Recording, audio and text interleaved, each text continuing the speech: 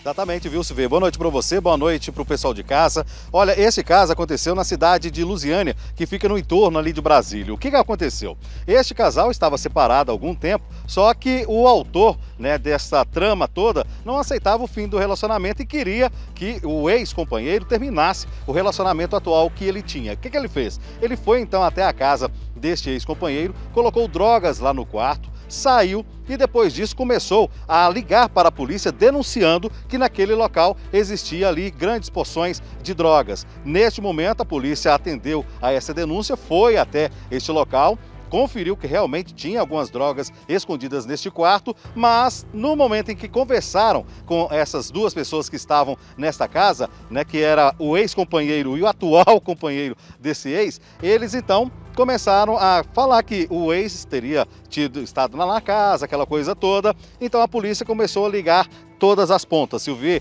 E quando foi abordado esse autor, ele confessou que realmente é, introduziu drogas ali no quarto desta vítima para no intuito que ele terminasse o relacionamento atual que ele tinha. Ele não estava satisfeito com essa situação. O que, que aconteceu? Ele acabou sendo preso né, por dois crimes e, e ainda provocou toda esta confusão, né, Silvio? Agora imagine, para você tentar reaver um grande amor, quem seja que for, colocou drogas na casa do suposto amor, né, para que ele fosse prejudicado, para que deixasse esse relacionamento. Que coisa, que história cabeluda. Deus o livre se as pessoas começarem a pensar desse tipo, ainda bem que a maioria das pessoas é do bem, segue a vida, o baile segue.